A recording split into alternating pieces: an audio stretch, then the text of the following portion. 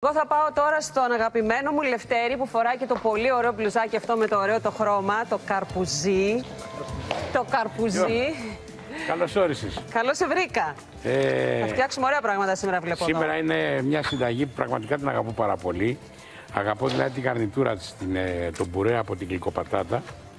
Και θα ήθελα να προσέξουν όσοι μας παρακολουθήσουν σήμερα με προσοχή τη σάλτσα αυτή που θα φτιάξω. Η σάλτσα αυτή που θα τους δείξω ταιριάζει με όλα τα κρέατα. Οπότε ας ρίξουν λίγο προσοχή.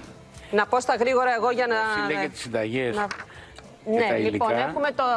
να αρχίσω από το πουρέ γλυκοπατάτας. Τα υλικά είναι 1 κιλό γλυκοπατάτες, 150 γραμμάρια βούτυρο, 15 γραμμάρια αλάτι, 1 γραμμάριο πιπέρι, 1 γραμμάριο ξύσμα λάιμ, 10 γραμμάρια χυμό λεμόνι.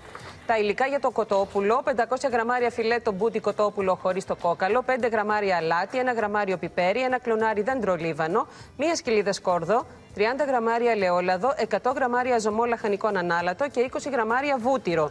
Και για τη σάλτσα αυτή την πολύ ωραία που είπες είναι 50 γραμμάρια κρεμμύδι ξερό ψιλοκομμένο, μία σκυλίδα σκόρδο, ένα κλονάρι δεντρολίβανο, 50 γραμμάρια χαρουπόμελο, 100 γραμμάρια μαύρο δάφνη, 100 γραμμάρια ζωμό λαχανικών ανάλατο, 30 γραμμάρια βούτυρο, 30 γραμμάρια λάτι και 30 γραμμάρια ελαιόλαδο. Λοιπόν, έχω ρίξει το ελαιόλαδο να ζεσταθεί λίγο για να σοτάρω το κρεμμύδι.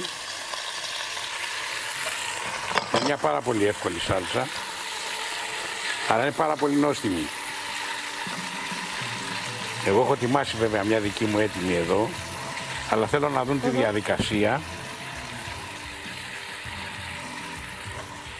Σβήνω με τη μαυροδάφνη τώρα. Και τώρα που έχετε χειμώνα αυτέ τι σάλτσες με τα, με τα κρασιά και αυτά είναι με τα κρέατα είναι πολύ ωραίες. Ε, ε. Δεν είναι μόνο για το χειμώνα, είναι τόσο ελαφριά η σάλτσα αυτή γιατί έχει το καρπόμελο μέσα. Και ο στόχος μου είναι να δείξω τη χρήση από αυτά τα ελληνικά κορυφαία προϊόντα για να τελειώνουμε και με τα βαλσάμικο αυτά τα καραμελωμένα ε, κλπ. Σωστό, σωστό, ε, Λευτέρη, πολύ αυτό που λοιπόν, λες. Πέφτει και το σκόρδο τώρα, αλλά θα το χτυπήσω λιγάκι. Ο ζωμός. Αφήνουμε λίγο να χαμηλώσει, να κάνει μια συμπίκνουση δηλαδή. Και πάμε τώρα όσο αυτό τιμάζεται εκεί και το βλέπουμε. Η σάλτσα με αυτή είναι έτοιμη. Πάμε λίγο να δείξω πώς κάνω το κοτόπουλο. Εγώ παρόλα αυτά να το Όχι, δεν χρειάζεται, δεν χρειάζεται. Δεν κολλάει, έχει πολλά υγρά. Ωραία. Μην ανησυχείς. Λοιπόν, πάμε εδώ να δείξουμε πόσο γρήγορα μαγειρεύουμε ένα κοτόπουλο. Διαλέγω το μπούτι γιατί το μπούτι είναι πιο ζουμερό από το στήθος. Ε, όπως εξήγησα είναι μια χαμηλού κόστους συνταγή.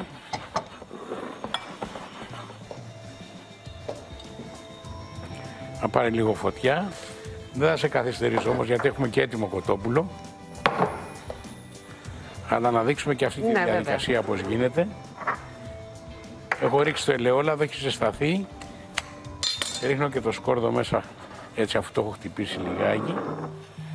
Εγώ έτσι που έκανες τώρα με το σκόρδο, Λευτέρη, κάνω και όταν έχει ε, τη φλούδα το, σκ- το σκόρδο Ναι, για απ' να έξω, βγάλουμε- γιατί είναι και βγαίνει αμέσως. Να βγάλουμε πιο εύκολα τη φλούδα.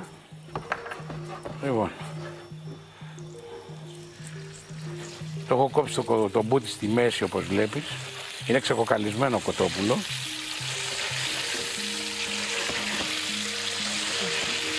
Αχ, μυρίζει πολύ ωραίο αυτό, ε, Ναι. η σάλτσα.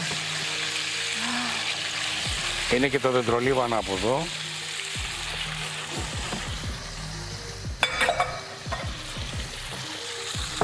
Άλλο μαγικό βόταν τον τρολίβανο, ε. Και το έχουμε και στο δρόμο και στους φράκτες. Παντού, παντού. Δεν είναι ανάγκη να το ψάξουμε. Πιο Ελλάδα από το δεντρολίβανο που υπάρχει και σε νησιά και Είναι αυτό παντού. που λέω τρακάρισε πάνω του. λοιπόν.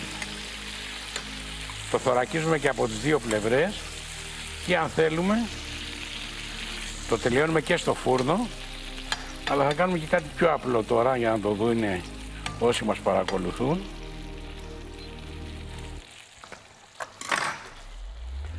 Λοιπόν, βλέπεις ότι εδώ η σάλτσα έχει αρχίσει να βράζει.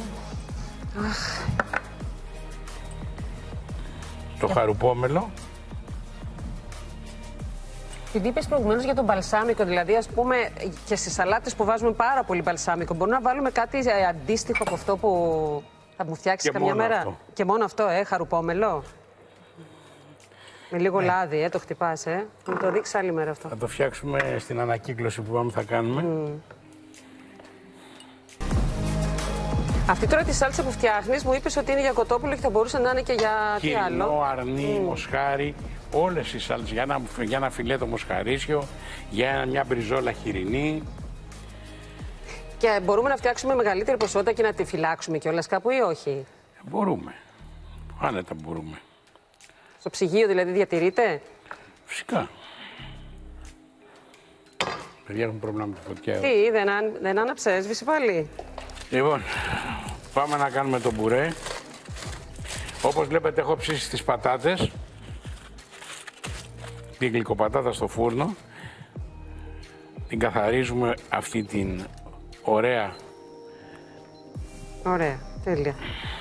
Νομίζω την άναψα.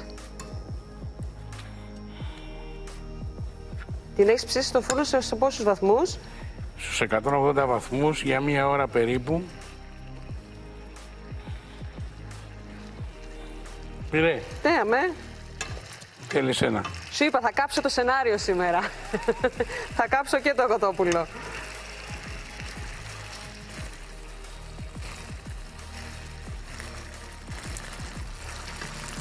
Βάζεις και έλαδο χαρτό, από ό,τι βλέπω, και αλουμινό χαρτό, ε, Ε, και έτσι τις το, ψήνεις, δεν ε; θέλω να έχεις το αλουμινόχαρτο επαφή με το προϊόν. Ναι.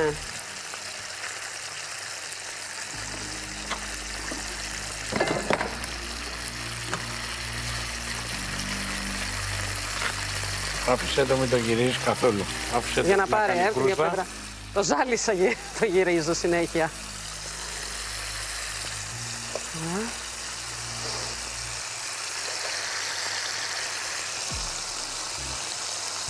Οι γλυκοπατάτες, ε, Ελευθέρια, έχουν εποχή; Όχι.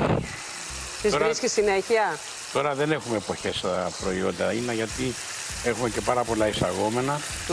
Αυτή τη γλυκοπατάτα μπορούμε να τη βρούμε όλο το χρόνο.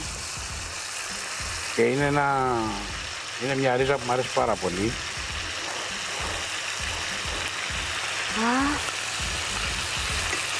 Σε πάρα πολλά εστιατόρια τον τελευταίο καιρό βλέπω ότι κάνουν και πατάτες τηγανιτές, γλυκοπατάτα τηγανιτή. Ναι, ναι, ναι. Έχει.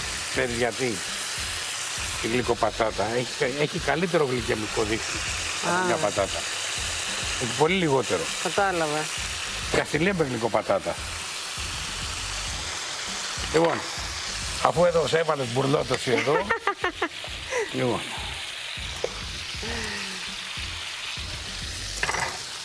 αυτό που μπορούμε να κάνουμε είναι να του προσθέσουμε λίγο ζωμό και με ένα καπάκι Α, να τα αφήσουμε να μαγειρευτεί. Έτσι τελειώνουμε το κοτόπουλο. Εδώ βάζουμε όλα τα υλικά όπως είπα στην γλυκοπατάτα. στο μαγικό μας με το μηχάνημα, ε. Όλα μέσα. Το αλάτι, το χυμό λεμόνι, το ξύσμα και το πιπέρι. Και αυτό θα κάνει τη δουλειά τη δικιά μας. Πολύ ωραία. Και πάμε να σου σερβίρω ένα πιάτο.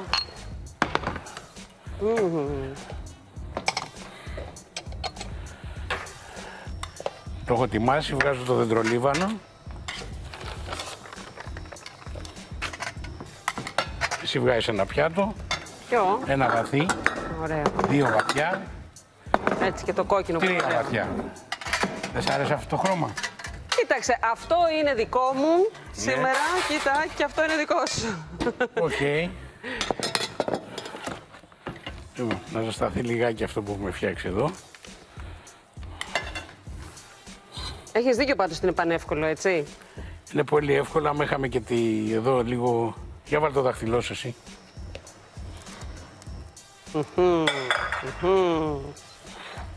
Μια χαρά.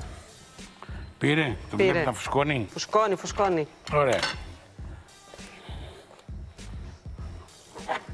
Θες να δοκιμάσεις; Ε, Ναι.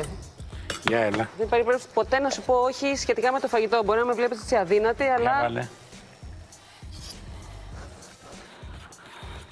Μμμ.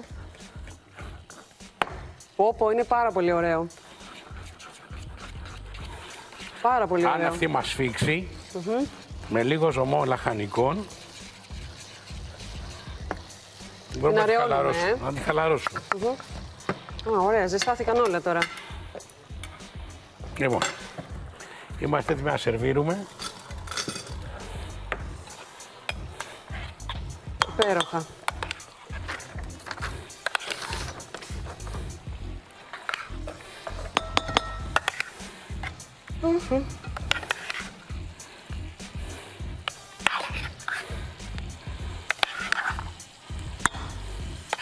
Εγώ θυμάμαι όταν ήμουν μικρή, η μαμά μου ε, έκανε τη γλυκοπατάτα με ζάχαρη και κανέλα. Για γλυκό. Και πάρα πολύ ωραία. Θα σου προτείνω να την κάνεις και εσύ και να βάλεις και λίγο αμαρέτο. Α, μάλιστα. Αν και δεν... Ξέρεις, οι παλιές νοικοκυρές ο, δεν αξι- αξιοποιούσαν τα πάντα, φτιάχνανε με πολύ φαντασία. Εμένα με θυμάμαι να τρώω ακόμα και ψωμί με ζάχαρη. Με λάδι και με ζάχαρη. και με πελτέ, ντομάτα. Με πελτέ ντομάτας. Και εγώ του τότε δεν λυκείου, υπήρχε. και εγώ του λυκείου είμαι, μην νομίζεις. Να σου πω, δεν υπήρχαν και πολλά λεφτά τότε. Και ό,τι υπήρχε στο σπίτι προσπαθούσες να το αξιοποιήσεις.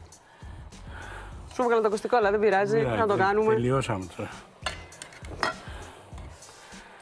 Ω, κοίτα μια σάλτσουλα. Ω, από μαράγια.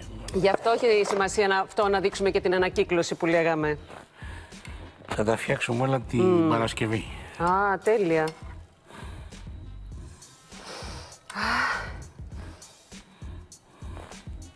Δεν μπορώ να σας περιγράψω τις μυρωδιές, πραγματικά, δηλαδή, με σκοτώνεις κάθε φορά.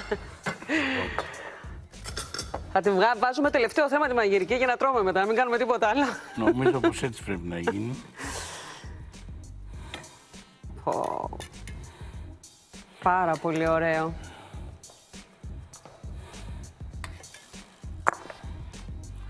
Κόψε Εγώ λίγο να ξέρεις το τι έχω στολίσεις. μεγάλη... Έχω λίγο να... Και αυτό θέλω να δοκιμάσω.